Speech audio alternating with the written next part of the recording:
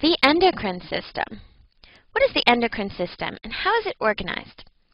Well, the endocrine system works in conjunction with the nervous system to send and receive messages throughout the body to maintain homeostasis. The endocrine system includes all of the glands that secrete hormones. These hormones are responsible for a variety of tasks, from maintaining temperature to controlling digestion to developing reproductive capabilities. The glands of the endocrine system include the pineal gland, the parathyroid and the thyroid gland, the pancreas, the uh, female reproductive glands like the ovaries and the uterus, the male reproductive um, glands called the testes,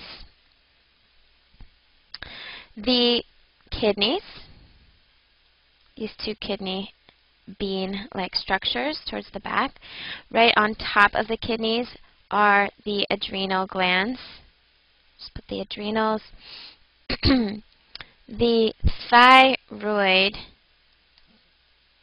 is over here, and the thymus is right here. And the pituitary gland.